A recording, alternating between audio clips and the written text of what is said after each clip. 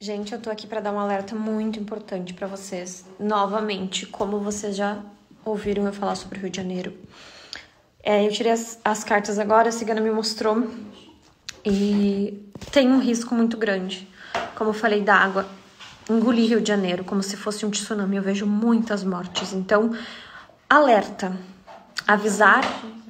É, não precisa debochar quem não acredita, ok, mas quem acredita na espiritualidade já vem há seis meses falando sobre isso e depois que acontecer, não adianta chorar.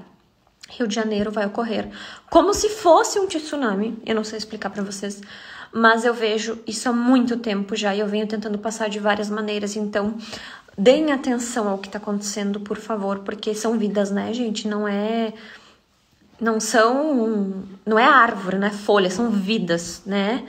Então eu peço que vocês compartilhem esse vídeo o máximo que vocês puder, porque eu tenho certeza que tem gente muito debochada que não acredita assim. Quando acontecer, não adianta ficar me marcando, porque aí já foi feita a coisa ruim, né?